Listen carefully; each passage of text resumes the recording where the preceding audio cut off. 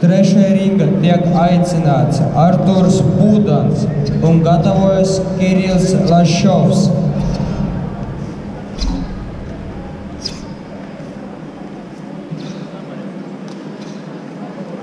Thank you.